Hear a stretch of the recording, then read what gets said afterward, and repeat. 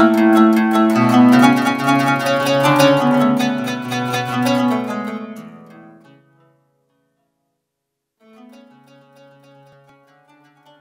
you very much because those are the people that need to be sensitized for them to be able to carry that message to the community in general. So, and again, thank you for the briefing that you have just um, informed us here. I'm happy to have learned that there's a lot of progress since uh, we last met in, uh, in Durban. And um, one particular area of importance for us in Zanzibar, as you have mentioned, is the blue economy. And uh, since it is under consideration in this uh, um, program, uh, we are happy to have learned that that, uh, that is part of what you are trying to, to do. And also uh, the fact that you have not left aside the small and medium enterprises. That we have now, as we speak, 43 countries that have ratified the agreement establishing the AFCFTA. Uh, the most recent countries were Morocco, uh, DRC, and uh, Cabo Verde uh, to uh, ratify the agreement.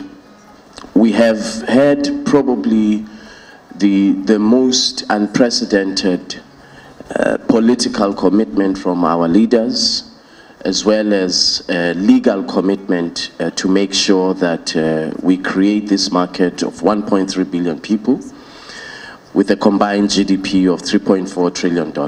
How do we position uh, Zanzibar to benefit in terms of the blue economy? How do we make sure that um, uh, Zanzibar is able to export um, to the rest of the continent? Uh, the blue economy is critical to Zanzibar, Comore Islands, the Seychelles, as well as, of course, um, on the west coast of the continent. I was just in, in Cabo Verde last month, and very, very similar uh, uh, priorities in terms of uh, the services sector and the blue economy in particular. And uh, his, the purpose of this visit is just first to do the trainings for our parliamentarians and uh, members of House of Representatives committee responsible for trade. But also this courtesy call is to first to greet you, but also to give you a brief updates on the development of African Continental Free Trade Area. Into ways of how to disseminate the information and also to, to make sure as government we are working with you hand in hand to make uh, the, the, the program, uh, you know, possible to implement.